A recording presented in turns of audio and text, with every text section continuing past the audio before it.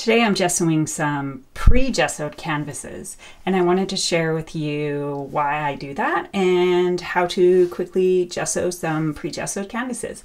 Now I often use canvas panels, panels that are really inexpensive. So if you look at this one, it says right on the back, economy cotton canvas panel.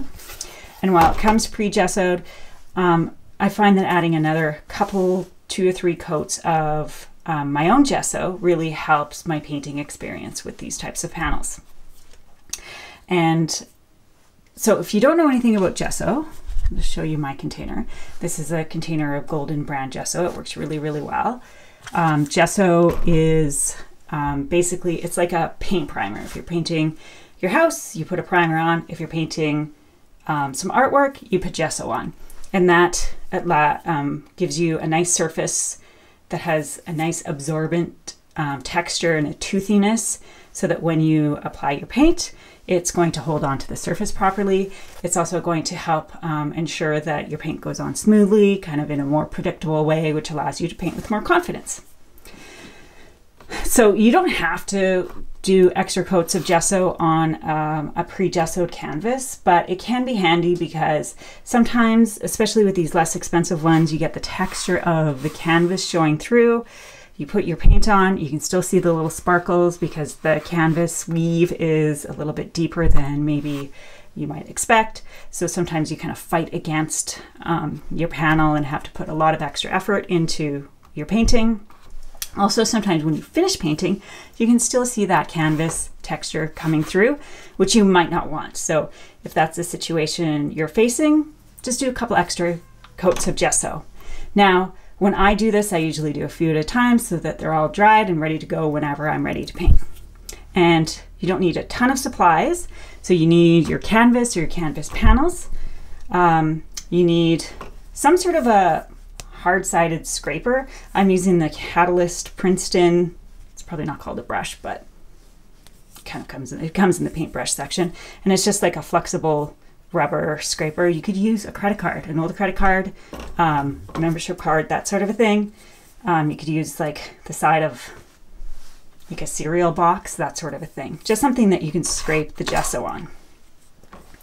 Now you don't need a paintbrush for this but it's nice if you have a soft, a soft paintbrush, particularly one that's a little bit wider. And that's just to clean things up when you're um, finished your layer. Also, of course, you'll need your gesso. I use artist quality gesso. There's a few brands out there. And then I use uh, drop cloth. So that I bought actually a much larger drop cloth and cut it down to different table sizes around my house so that if I'm painting on them, I can protect them. And then this is uh, a wire grid that's, you know, those boxes that you assemble, um, that were those cubes that you assemble. This is a piece off of that. And it's essentially just something that lifts the panel up off of the surface that's protecting my table. So if you're using newspapers, which I used to do, I used to put my gesso on and then it, the newspaper would stick to it. This just prevents whatever you're painting on to not stick. So I get paint on it, but never, never actually sticks when it dries. Okay, and then of course some water. So, just open up your gesso, take a little bit on your hard-sided scraper, and you just scrape it on. And essentially what you're doing is you're kind of filling in that weave.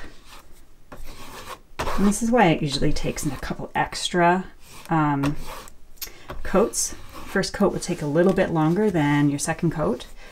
Um, essentially, you're just making sure that it's applied across the surface. So just scrape it around. If you're doing an actual canvas rather than a canvas panel, you'll want to make sure you get the sides as well. And I scrape off any that's kind of sticking up. Get back into my gesso container. And then I take just a damp paintbrush and just get anywhere where the gesso is kind of has any sort of a ridge or too much thickness. Now, if you paint with a lot of texture, you might not need to worry about this step. So you can get away without it. that just cleans it up. And there your first layer is done. So now all you do is you wait for this to dry to the touch and you do another layer. Like I said, the second layer is usually a lot quicker than the first because you've already gotten one layer down. You're just kind of making sure to fill in the last little bits.